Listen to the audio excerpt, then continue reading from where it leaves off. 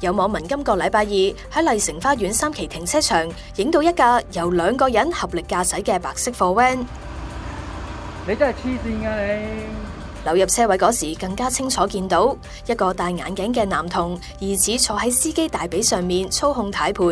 而司机就一路控制刹车同油门。货 van 经过多架私家车，稍有不慎就会酿成意外，令到网民哗然。拍片网民事后话，已经以影片举报涉事司机片段上载到社交平台之后，有疑似新界南交通调查组嘅警员留言邀请拍片网民联络警方。过往亦都有儿童无牌驾驶案例，一个四十六岁男子喺停车场入面俾十岁嘅男童驾驶，男子四项罪名成立，被判入狱六周，停牌一年。而男童就因为不小心驾驶、无牌驾驶以及驾驶时冇第三保等罪名，遭到警司警戒。